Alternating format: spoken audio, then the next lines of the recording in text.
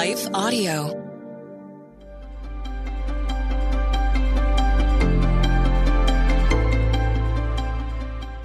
Welcome to the Crosswalk Devotional. We're so glad to have you as a listener. Today's topic is the gift of common interest. We'll be right back with a brief message from our sponsor.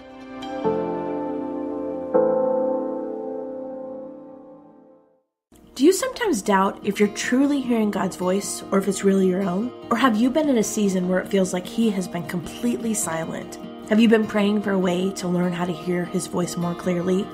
Hey, friends, I'm Rachel, host of the Hearing Jesus podcast. If you are ready to grow in your faith and to confidently step into your identity in Christ, then join me as we dig deep into God's Word so you can learn to live out your faith in your everyday life. To listen now, go to lifeaudio.com or search Hearing Jesus on your favorite podcast app.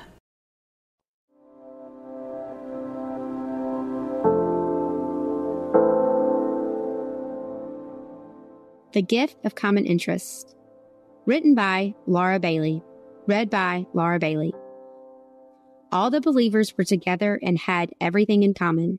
Acts 2 44 NIV. Our church welcomed a new student pastor and his family a few years ago but with COVID restrictions, I hadn't gotten to know his wife.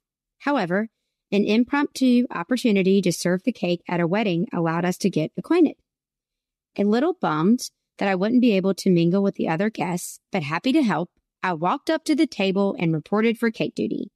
It wasn't long that, in between passing out cake slices, we discovered that we both loved historical fiction and shared a mutual affection for thrift store books.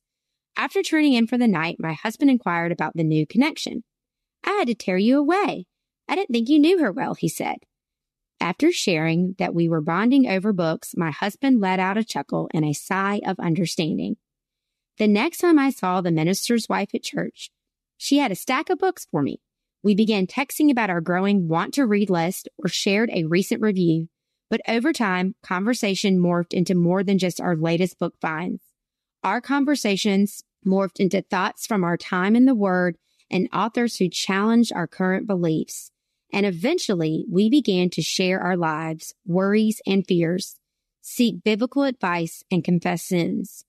Our unassuming relationship shifted beyond pleasantries and transformed into a deep friendship rooted in mutual love for God that enhanced our intimacy with our Savior. In Acts chapter 2, Paul describes the establishment of the church and specifically in Acts 2, 24 through 27, gives us a peek into the lives of the early church members. After repenting, believing, and trusting the Lord as Savior, they were ready to make a public profession of faith followed by baptism, after which they began new routines as followers of Christ. We learn that the new believers were devoted to the apostles' teachings, ate and prayed together.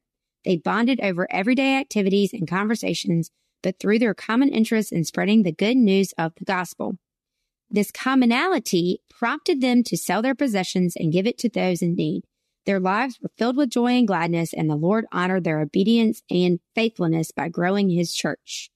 A serving opportunity and a fanatic zeal for books brought my new friend and me together, but our mutual desire to honor God and share the good news with others drove us to take our hobby and use it for God's glory. This summer, our church will host our first book club. We will read three different Christian novels, come together to fellowship and discuss, and leave encouraged by a body of Christ. We also started a smaller book club that serves as an accountability group, prayer chain, and praise and encouragement time, all because the Lord brought two people together who had something in common. We never know how the Lord will use us or a situation to draw people together into Himself. Maybe it will be a book club, an Easter egg hunt, or serving opportunity. Nothing is wasted in God's economy, and we are to make the most of every opportunity for the day to are short. Ephesians 5:16. As believers, we are called to unity, to be like-minded and in one spirit, to share a common love for God and desire to know him and make him known. But how that is played out in our daily lives looks different from church to church, family to family, and person to person. Embrace the unique talents, gifts, and hobbies God has given you and use them as you connect with people, hoping to bring people to the one who unifies us all, Christ. Intersecting faith and life. God has equipped us to use our talents and passions for His glory. What gift can you share with others opening the door to share the gospel. For further reading, check out 1 Peter 3 8 or Romans 15 5 through 6. The Crosswalk Devotional is a production of Life Audio and Salem Media.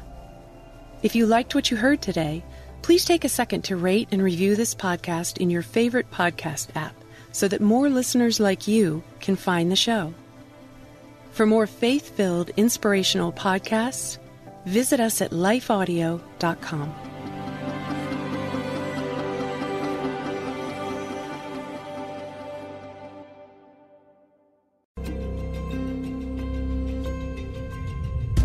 This Easter, we want to invite you on a journey back to first century Palestine as we dive deeper into the lives of Simon Peter, Judas, Pilate, John, Mary Magdalene, and others in the Characters of Easter podcast.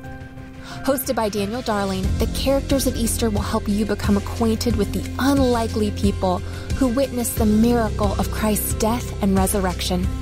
Enter into their stories and ultimately draw closer to Christ Himself as you encounter Him through their experiences.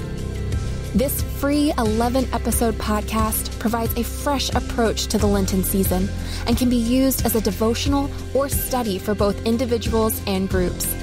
Visit lifeaudio.com today or search for the characters of Easter in your favorite podcast app.